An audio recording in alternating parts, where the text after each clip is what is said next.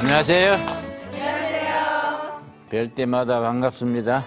예. 오늘은 출애굽기 성경 공부 16번째 시간. 다음번에 총 정리로 17, 18강 하면 출애굽기는 공부를 끝냅니다. 내 생각에는 한 30강 좀 했으면 좋겠는데 예, 방송국 사정이 또 있는가 봐요. 예. 자, 지난주에 우리가 시- 십계명 공부를 했습니다. 십계명 약간 언급하고 마- 다음 주제가 되는 거룩한 성소 공부를 하겠습니다. 이게 우리가 뭐 천천히 공부해야 되는데 예, 시간이 한정돼 있으니 수박 겉핥기로 중요한 것만 짚어서 나가는 겁니다. 이걸 시골에서는 소풀 뜯어 먹기로. 응? 소 풀을 다 안 먹잖아요. 건너뛰잖아요. 응. 십계명은 인간의 정신적 행복과 물질적 행복을 함께 보장해주는 하나님이 주신 법인데 합쳐서 영적 행복으로 나아가게 됩니다. 지난주에 이어서 1계명에서 4계명까지는 하나님과 사람의 관계. 두 번째, 5계명서 10계명까지는 사람과 사람의 관계. 하나님과 사람의 관계를 수직적 관계라 그러고 수직. 사람과 사람의 관계를 수평적 관계라 그래요. 그러면 십자가가 있습니다. 하나님과 사람의 관계는 수직적인 관계. 사람과 사람의 관계는 수평적 관계. 곧 만나는 지점이 십자가에 예수님이 죽으신 자리지요. 그래서 마태복음 22장에 보면은 어떤 똑똑한 청년이 예수님께 와서 율법에 대해 말씀해 주십시오. 예수님이 네 마음을 다하고 목숨을 다하고 힘을 다해 하나님을 사랑하라. 이것이 크고 첫째 되는 계명이요.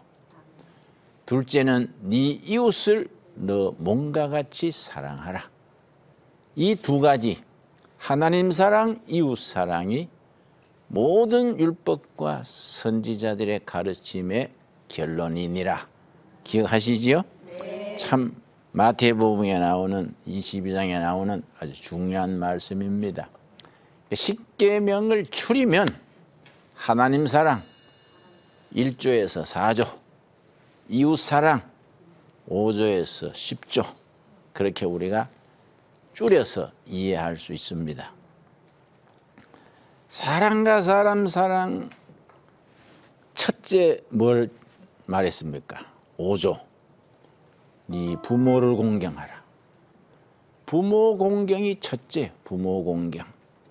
그 나는 우리 어머니가 6년 전에 돌아가셨는데 소천한데 하늘나라 가셨는데 너무 마음이 짠해요.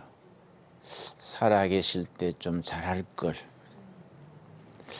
왜냐 나는 뭐 바쁘다는 핑계로 어머니한테 전화도 잘 못 해드리고 용돈도 못 드리고 우리 어머니 너무너무 고생하셨는데 내가 고등학교 때 좀 모범생이 못 됐어요. 가출을 했어요. 1년 반을 무전여행을 다니다가 집에 왔는데 1년 반 다니다가 공부할 마음이 난 거예요. 저 여수 오동도로 순천으로 남해로 막 다니다가 야, 내가 이거 뭐 김삿갓 조카도 아닌데 이 다녀가 되겠나? 그때 내가 바늘을 사가지고 한짐 찌고 바늘 한 첩에 열두 개 들었어요. 그거 하나 주면 밥 한 끼 주는 거예요. 시골에 가면. 또 식당에 가서 심부름해서 또 며칠 있고 농촌에 가서 또 논매기 하는데 끼어들어가지고 논매 주고 또 하룻밤 자고 그걸 1년 반을 다녔어. 헤르만 헤세 시집 한 권 들고. 그 내가 지금 또 헤르만 헤세 씨는 수십 편을 암송합니다. 그 나중 연애할 때 아가씨한테 헤르만 헤세 씨를 계속 보냈지. 답은 한 장도 못 받았지만. 그래 그 마음 잡고 공부해야지. 들어가 어머니한테 어머니 나 이제 공부할라요. 그랬더니 어머니가 눈물을 흘리더라. 내가 네 마음 잡고 공부하도록 새벽마다 눈물로 기도했다. 하나님의 응답이다. 그래. 우리 집이 가난하지만은 내가 다 니를 밀어줄게. 이러시는 거예요. 새로 공부하려면 참고서가 필요하잖아요. 어머니 내일 내가 서점에 가서 영어 참고서, 수학 참고서부터 사야 됩니다. 돈 좀 마련해 주세요. 그랬더니 얼마나 되면 되냐? 요즘 말하면 3만 원, 3만 원. 대충. 응? 그래. 내일 내가 가서 구해 올게. 아침에 그 다음날 새벽에 갔어요. 나갔어요. 밤 9시 지나도 안 들어오시는 거예요. 웬일인가 나는 책 보면서 기다렸는데 9시 넘어서 들어오셨어요. 그래 네 책값이 있다 주셨어요. 아이고 오늘 고맙습니다. 내일 나가서 서점에 가서 사지요. 그러나 공부하는데 공부하다 보니까 어머니가 주무시는데 머리에 수건을 쓰고 주무세요. 어머니는 왜 수건을 쓰고 주무시냐? 수건을 벗겨보니까 어머니 머리카락이 없어요. 하루 종일 친척집 다니면서 돈 구하다가 못 구하니까 그때는 가발 가게들이 있었어요. 가발 가게에 가서 어머니 비녀를 찔렸거든. 그 머리가 길잖아요. 머리를 판 거예요, 머리카락을. 그걸로 책값 구해온 거예요. 그러니까 머리가 머리카락이 없지요. 그 아들이 볼까 봐 수건 쓰고 주무시는 거예요. 그때 내가 아주 결심했어. 이런 어머니 내가 잘 못 모시면 사람 자식이 아니다. 열심히 공부했습니다. 공부하다가 지루해지면 어머니 머리카락 생각하는 거예요. 그래서 열심히 공부해가지고 지방대학이지만 1등 들어가서 장학금을 많이 받았어요. 장학금만 받으면 장학금 현찰 어머니 갖다 드리는 거예요. 어머니 머리카락 판 거 생각하고 장학금 받을 때마다 어머니 갖다 드리면 그렇게 기뻐하셨어요. 아이고 내 아들이 이제 사랑구실 하는구나. 근데 그 어머니 잘 못 모시고 6년 전에 하늘나라 가셨어요. 아이고 지은 게 있으면 잘해드릴 텐데. 그 나는 젊은 사람들한테 부모 잘 모셔라. 달리 모시는 게 아니다. 자주 찾아뵙고 소상하게 이야기하고 용돈도 드리고 용돈 5천 원도 좋다. 봉투내 드리고 전화 드리고 부모 공경이 성경에 장수하는 비결이라. 보양 뭐가 장수하는 게 아니에요. 부모 공경 잘하면 장수한다는 겁니다. 그 여러분 오래 살라고 괜히 뭐 주사 맞고 보양 받고 하지 말고 부모 잘 모십시다. 자녀들한테도 가르치세요. 여러분 아직 부모님 살아 계세요? 잘해야 돼요. 오늘 당장 가서 전화하세요. 어머니 좀 잘 모실게요. 아버지 뭐든지 필요하면 말씀하세요. 그러고 아, 할아버지들은 이 허리가 아프고 다리가 아프니까 가끔 가서 다리 마사지 해드리고 자기 어떻게 돌아가는 거 이야기해드리고 노인들은 이박을 좋아하거든. 아버지 요새 지가요 이렇고 이렇고요. 또 신랑이 마음에 안 드는 게 있으면 아버지 어머니한테는 다 일러 바쳐요. 우리 어머니 살아 계실 때 나한테 그랬어요. 야야, 뭐든지 엄마한테는 말해도 된다. 애미는 사람 죽인 것도 말해도 애미는 목숨 걸고 지킨다. 이 마누라한테는 다라 말하지 마라. 마누라면 돌아서면 놈이다. 마누라한테는 다 말하지 말고 애미한테는 뭐든지 말해라. 그 기억이 나요. 이 부모지 부모. 여러분 부모님 효도 잘합시다. 그 다음에 중요한 게 뭐냐면은 뭐 살인하지 말라 이거는 뭐 쉬우니까 중요한 건 간음하지 말랍니다. 일곱 번째 성적 순결. 남편 아내 부부 관계 외에는 성적 순결을 지키는 것이 기독교의 철칙입니다. 요즘요 범죄 이혼을 많이 하지 이혼. 지금은 세상 네 상 중에 한 상이 이혼합니다. 슬픈 일이지요.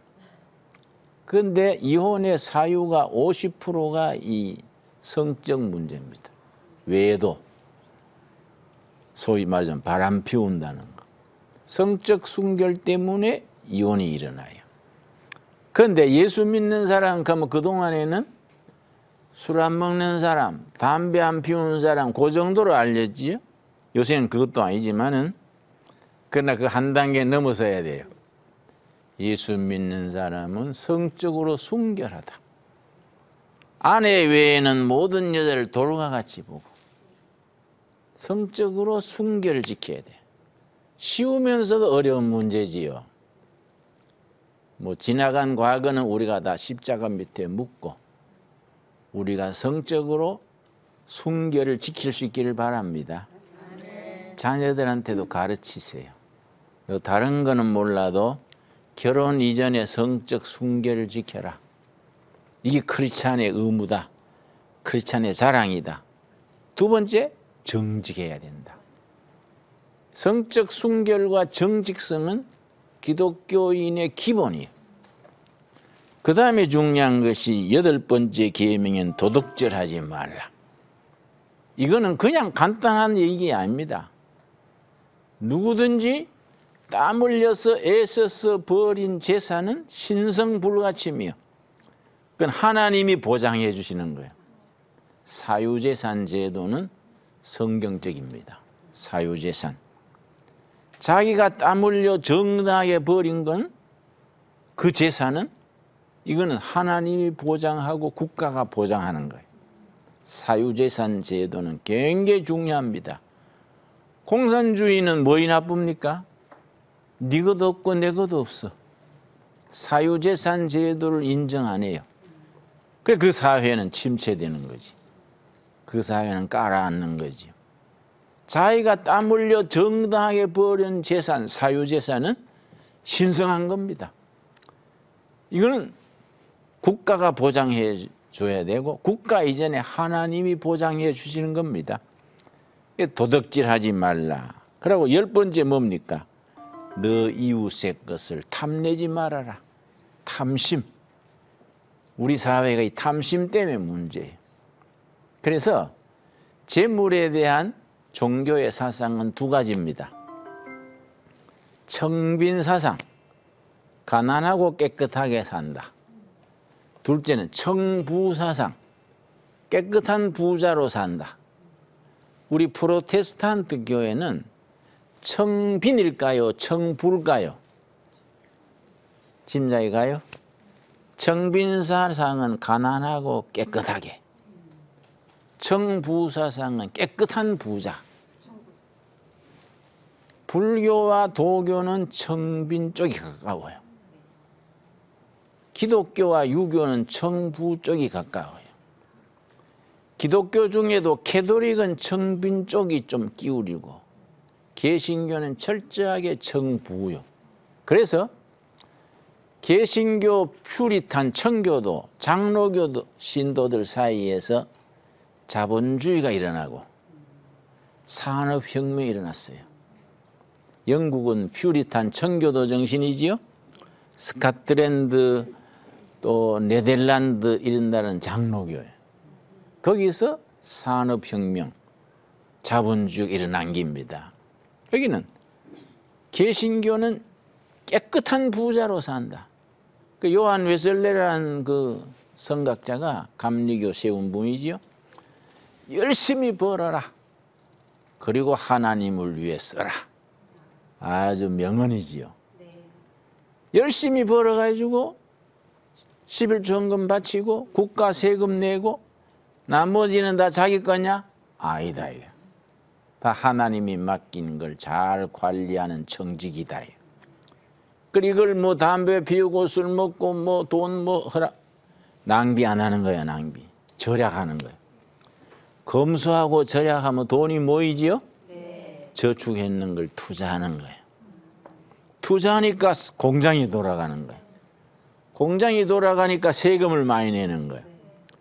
노동자들이 노동해서 월급 받으니까 또 세금 내는 거야 그러니까 국가가 부강해지고 그 사람들이 교회에 또 11조원금을 바치니까 교회가 탄탄해지죠. 11조원금을 또 구제하고 선교하고 해외 선교하고 또 교육을 학교를 세우고 병원을 세우니까 하나님의 뜻이 번져나가는 거예요. 그래서 11조 10계명에서 철저하게 강조하는 것이 도덕질하지 말라, 이웃의 걸 탐내지 말라, 정당하게 버는 거는 절대 보장해야 된다. 이해가지요? 네. 하나님이 보장하시고 국가가 보장하는 거예요. 이게 민주주의, 자본주의의 경제 원리요. 이걸 주장한 사람은 아담 스미스라는 사람. 그런데 니꺼 네 내거 없이 같이 살자. 그거는 칼 막스의 자본론, 공산주의.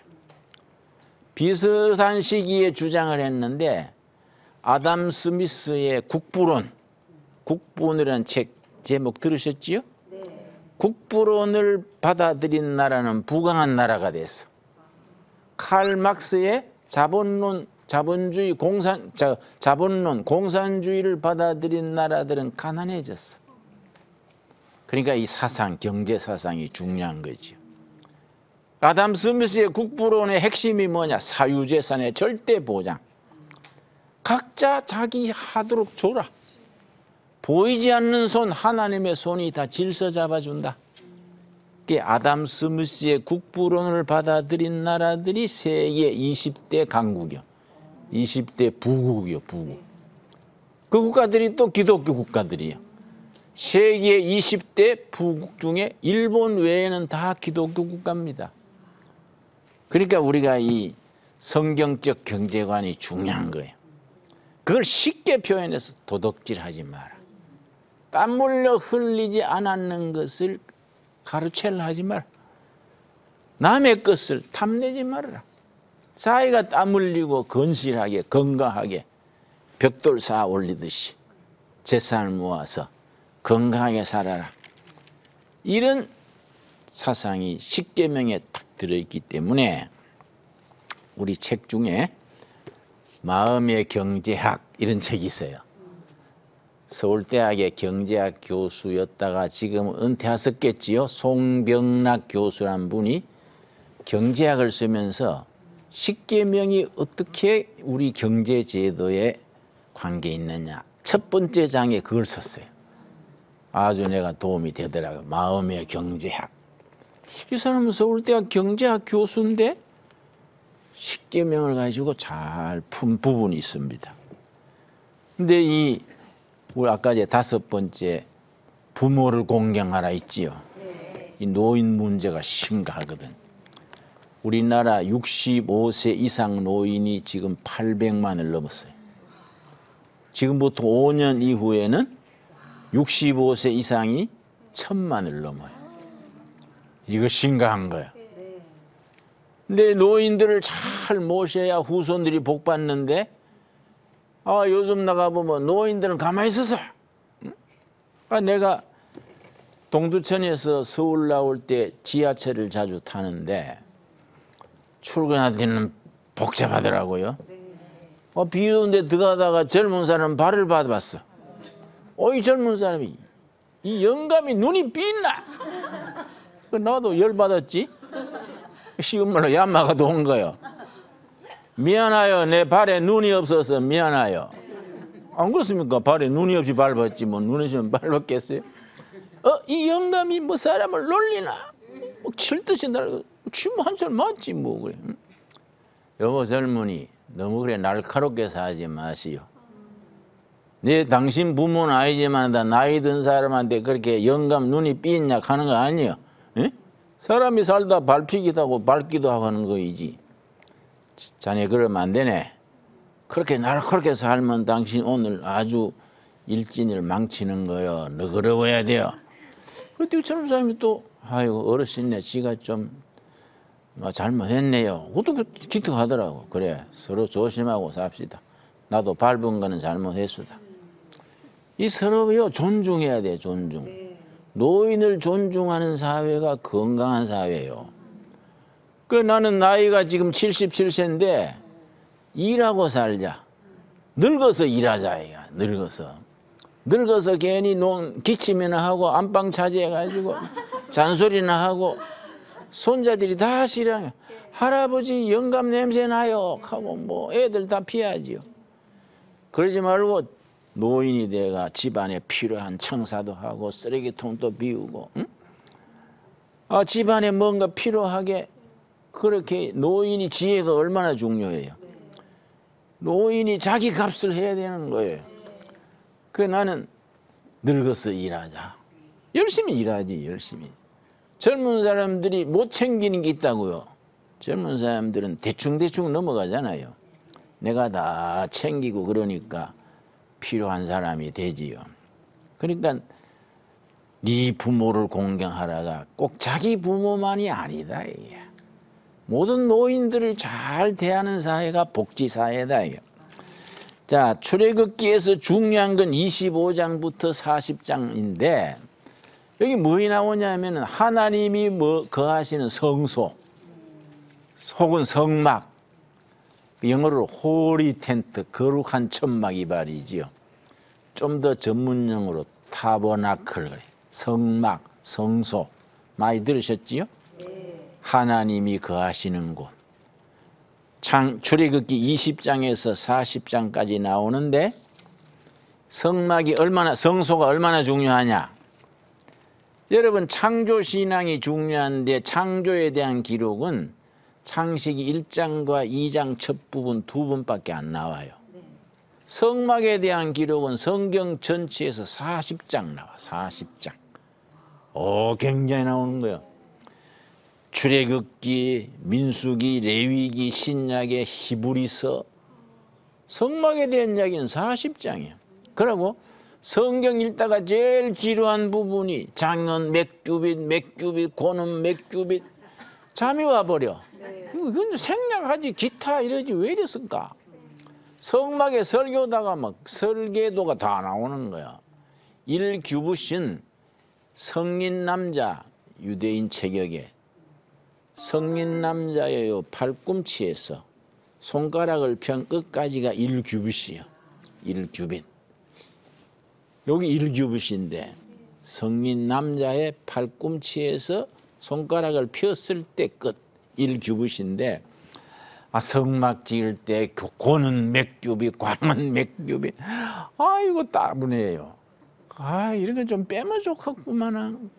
근데 그거가 뭐 잠이 와 버리지. 그나기 중요한 거예요. 왜냐? 성막에 대해서 하나님이 뭐라 그랬었는가? 25장 8절 말씀. 25장 8절. 내가 그들 중에 그할 성소를 거룩한 장소다 이 말이지요. 성소를 그들이 나를 위하여 짓되 물은 내가 너게 보이는 모양대로 장막을 짓고 가구들도 그 모양을 따라 지을지니라. 설계도는 하나님이 모세에게 보여주신 거예요. 근데 그 원형 프로토타입은 어디에 있느냐? 천국에 있는 거예요. 천국. 천국 성소의 카피를 지상에 만드는 거예요. 그러니까 내가 너에게 보여주신 대로 네가 지을지어다. 그러니까 한 규빗 한 규빗 정확하게 일러주시는 거예요. 모세가 그걸 이 목수치 저 기술이 있는 은사가 있는 사람들 모아가지고 정성 들여졌어요. 아, 그 처음 지은 성막이 남아있으면 멋있는데, 물론 그동안에 사라졌지요.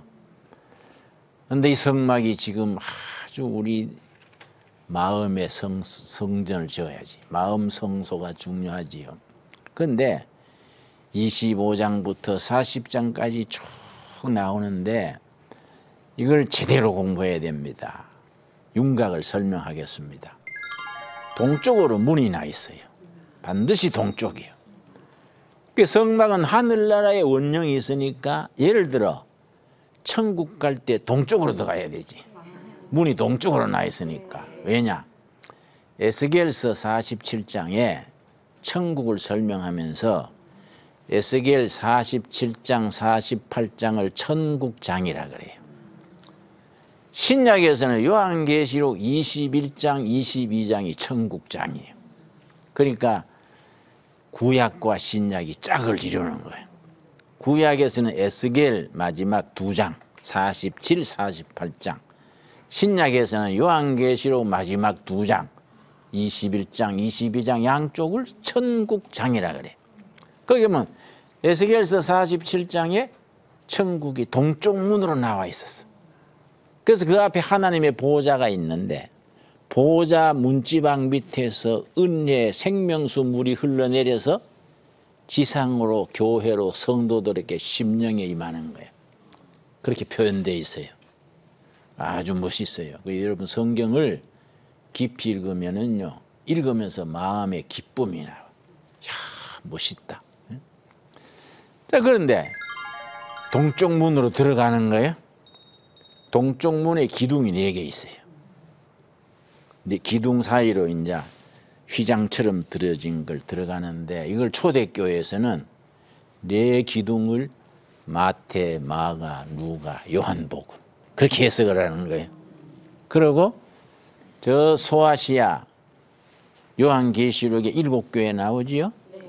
그게 다 지금은 터키 지방이에요. 슬프게도 그 지방이 이슬람 지역이 돼 버렸어. 에베소 뭐 사대 이게 다 그 이슬람 지역이 돼 버렸는데 또 그리스 같은 데 가면은 초대교회 지은 집들은 전부 기둥이 네 개예요. 그리고 기둥 밑받침에 동물이 하나씩 그려져 있어요. 짐승. 사자 그림 마태복음이에요.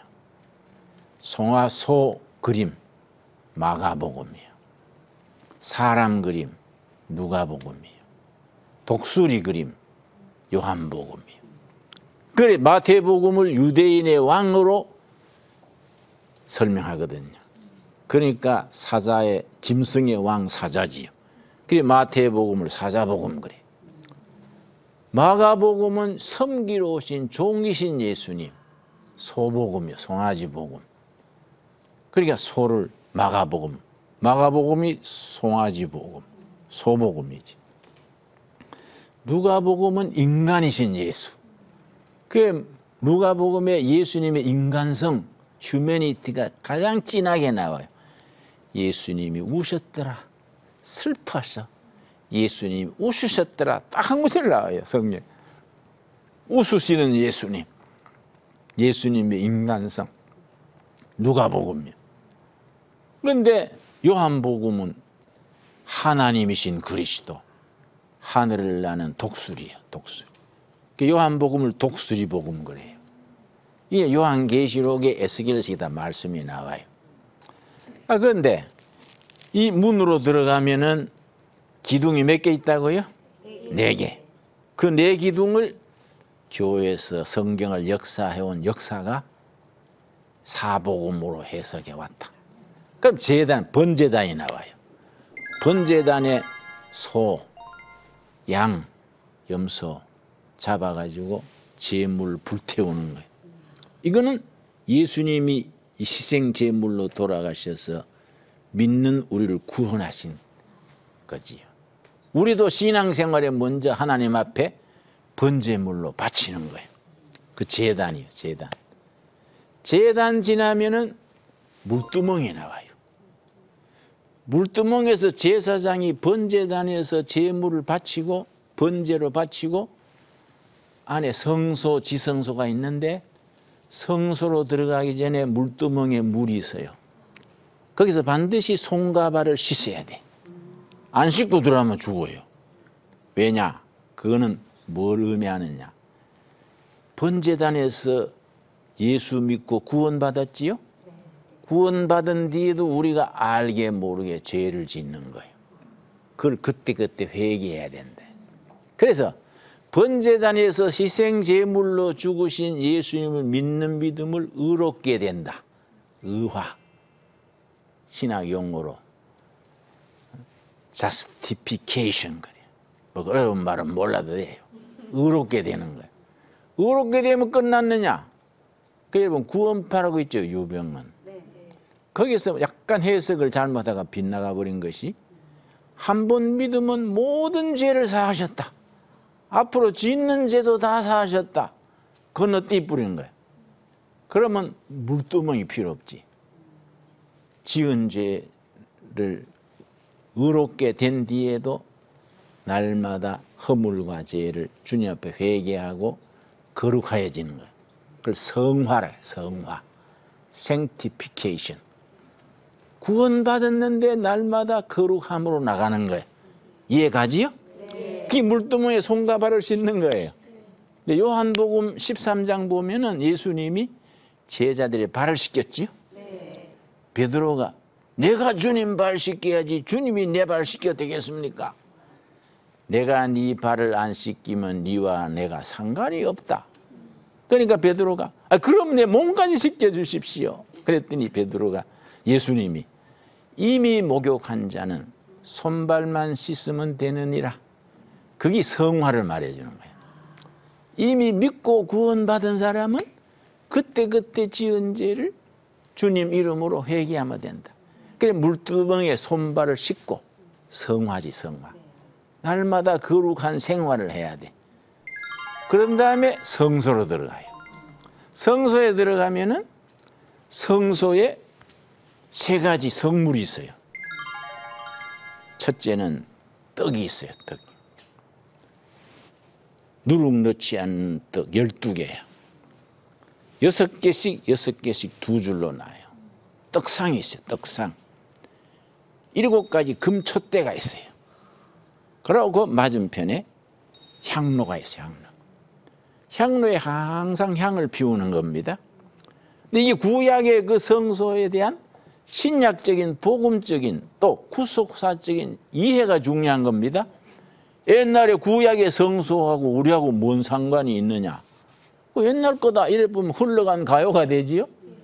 지금 우리에게 주시는 메시지가 있고 교회가 우리가 받아들여야 될 거룩한 교훈이 있는 거예요. 세 가지 성물이 있다 그랬지요? 네. 떡상은 말씀이에요. 그 열두 개는 이스라엘 열두 지파를 나타내지요. 우리는 이스라엘 열두 지파 아니지 않습니까? 하나님을 주인으로 모시는 모든 거룩한 백성, 영적 이스라엘 전체를 말하는 겁니다. 그래 떡 여섯 개씩 여섯 개씩 두 줄로 있는 거예요. 내가 남양만의 할빈교회 목회할 때 그 농촌이기 때문에 성막을 실물 크기로 졌어요.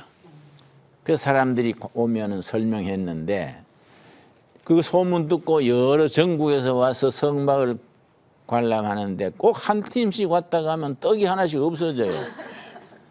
그걸 그 먹는 게 아닌데. 그 우리 식구들이 목사님 이 농약 발라놓읍시다. 이거 먹어서 안 되겠습니다. 농약 발라놓고 농약 발랐으면 써놓읍시다. 그래서 웃었어요. 야 없어지면 다시 채우지 그걸 또 농약 발라 되겠냐. 아 이상해요. 그걸 왜 먹냐. 그걸 전시용인데. 아이고 그래서 참 별난 사람 많아요. 예수 믿어도 별납니다. 깜빡하는 사이 하나 없어져 버려. 그게 뭐 별난가 해서 그걸 가져가 버려. 그건 말씀이요, 말씀. 그 건너편에 일곱 촛대가 있 촛대. 이건 너희는 세상의 빛이라. 세상의 소금이라. 그 교인이 있는 곳에는 밝아져야 돼. 깨끗해지고 빛이 나야 돼. 그 항상 교인은 인상이 좋아야 돼요. 우정충하게 우울증 걸려가지고 너저하게 그러면 안 돼요. 좀 멋있게 살아야 돼요. 근데 교인들이 이상해요. 축 처져가지고 주야 주야 그래가 비싼 옷을 입어도 꼭 구호물자 입은 것 같아. 그러면 안 된다 이게 빛이 되고 소금이 돼가지고 어디 가서도 활력을 발휘해야지 그지요? 믿는 사람이 오면 그 분위기가 후원해져야 되지. 그게 세상의 빛이요 소금이요 소금. 소금은 세상을 썩지 않게 하고 약이 되고 맛을 내지 않습니까? 그 예수 믿는 사람이 가면 그런 역할을 해야 돼요. 응? 그러고 있는 향로는 기도예요, 기도. 그 향로에 늘 향불을 피우는 겁니다. 그 향로에 향로가 하늘로 올라가거든요. 우리 기도 생활이지. 그러니까 세 가지 성물 중에 떡은 뭐라고요? 말씀. 살아있는 하나님의 살아있는 말씀. 또 향로는 뭐라고요? 기도. 쉬지 말고 기도하라. 일곱 촛대는 뭐라고요? 성도의 삶. 빗대는 삶. 그리고 성소에서 지성소를 가로막는 휘장이 있어요. 휘장. 그러니까 성소가 여덟 평, 지성소가 네 평이에요. 그래서 지성소가 성소의 절반이지. 휘장을 제치고 들어가면 성소가 지성소가 있는데 우리 중요한 것은 우리 마음 속에 지성소를 모시는 거예요. 지성소에는 속죄소가 있어요. 속죄소. 우리 죄를 속해주는 법궤, 속죄소. 법궤 위에 속죄소. 하나 우리로 볼 때는 속죄소고 하나님 볼 때는 시은소. 은혜를 베푸는 자리. 같은 긴데 하나님 쪽에서는 은혜를 베푸는 시은소. 사람으로는 뭐라고요? 속죄소. 죄를 속하는. 그 속죄소를 이 두루 천사 날개 달린 천사가 지키고 있어요. 두, 두 천사가. 그 밑에 법궤가 있어. 법궤는 세 가지 성물이 들어 있어요. 아론의 상난 지팡이 기억나시죠? 네. 모세 율법판 두 개, 십계명 두 판. 그리고 광야 40년 동안 하나님이 늘 공급하신 만나. 만나란 말 여러분 아시죠? 이게 뭐고? 이게 만나야 만나. 응? 이게 무엇인가? 경상도 사투리는 이게 뭐고? 얄궂은 게 있네 이거. 아 먹어보니까 끝내주는 거야. 그거만 먹어도 건강 유지하는 거야. 하나님 매일 아침 자고 나면은 만나를 밤에 이슬비 내리듯이 만나가 내려서. 근데 이것을 욕심을 내가 많이 주서 저장해 놓은 벌레가 돼 버려. 근데 토, 토요일 안식일 전날은 두 배를 거둬. 일용할 양식이지. 만나가. 그지요? 만나 경제는 평등 경제입니다. 뭐 부자 가난한 사람 막 차이가 나가지고 부자는 막 펑펑 쓰고 가난 빼는 쫄쫄 굶으면은 그 사회가 불만 사회가 되지. 가난한 사람들이 이야 이거 어느 놈은 인삼 먹고 누구는 배추 뿌리 먹냐? 누구는 얼어 죽고 누구는 뒤 죽냐? 이런 뭐 세상 뒤집자. 이래 나가는 거야. 안 그래? 이게 평등 평등. 그러니까 우리가 성경에는 자유와 평등이 말씀 안에 이루어지는 거예요 자유로우면서 평등해야 돼 북한 가면은 평등은 있는데 자유가 없어 이 동네에서 저 동네 갈 때 허락을 받아야 돼 동장 사인 받아야 돼 그런데 평등은 있는데 무슨 평등이냐? 굶는 평등이요. 응? 그난 북한 자주 갔다 왔는데 불쌍해요. 너무 애들이요. 남한 같은 아이들의 키보다 10, 11cm가 낮아요. 체중은요, 북한 사람 전체 체중이 남한 사람보다 13kg 이상이 낮아요. 그래서 마른 여자 보면 북한 여성 같네? 북한 여성 같네? 다이어트 한다고 너무 해가지고 바싹 마른 거예요. 내가 아, 북조선 여자 같구만. 좀 먹으시오. 또 어떤 여자는 또 너무 먹어가지고 몸이 크던데 나한테 기도 받으러 왔어요. 뚱뚱한 여자가. 기도 제목이 뭐인지요? 그랬더니 다이어트 좀 기도해 주세요. 그랬어요. 아줌마 너무하요.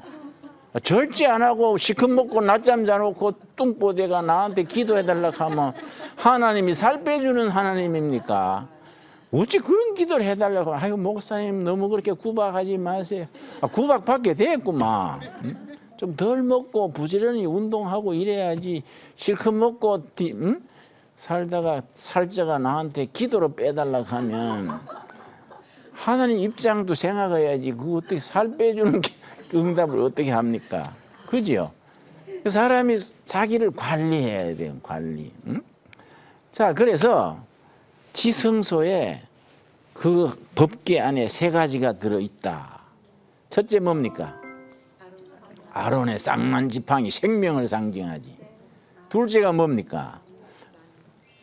법계 저 저 십계명 돌판 십계명 돌판 그것도 말씀이고 법이지 하나님 법이지요. 세 번째가 뭡니까? 만나 일용할 양식이지요. 그 우리 주기도문에 날마다 우리에게 일용할 양식을 주옵시고 주기도문 하지요? 그래서 날마다 일용할 양식이 세 가지 의미가 있어요. 영적 만나를 말한다. 아니다. 날마다 먹는 밥이다.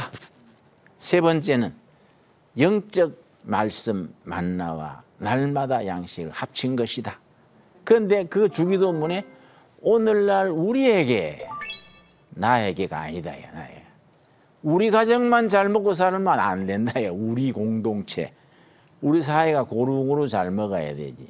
그러니까 복지 사회, 복지 공동체지요. 그래 있으면 나누어 먹고 떨어지면 금식하고 이 영적인 생활이지. 그러니까 우리 대한민국의 헌법 제1조에 대한민국 1조는 대한민국은 민주공화국이다. 2조에 가면은 우리 국토가 제주도에서 백두산까지 우리 국토요. 북한 국민도 우리 국민이요. 그러니까 지금 갈라에서도 우리 국민인 거요. 북한 국민 굶주리는 거 우리가 관심을 가져야 돼. 그리고 우리 두레에서는 북한에 고아원을 세워서 2,850명, 15년째 돌보지요. 하루에 만 원이면은 한 달에 만 원, 한 달에 미국 돈으로 10달러면 애들 먹이고 입히고 다 해요. 근데 북한 너무해요. 그게 먹을 게 없어 애들이. 한경도에 있는데 우리 고아원이 그 추운 지방이잖아요.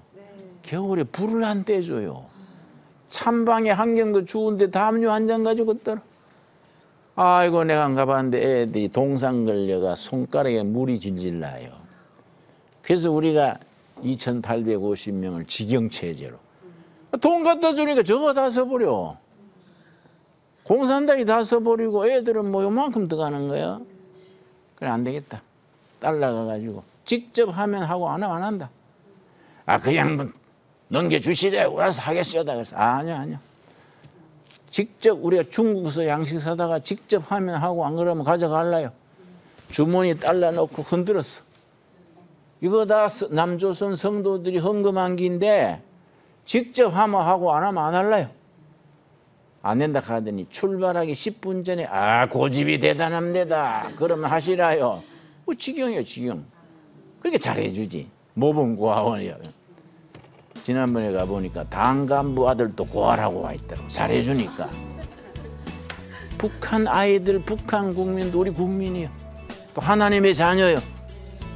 근데 요새 핵 때문에 뭐 아주 판이 이상해져 버렸어. 아, 이게 큰 문제야. 하나님이 때를 따라 길을 열어 주실 줄 믿습니다. 네, 오늘 거기까지. 감사합니다.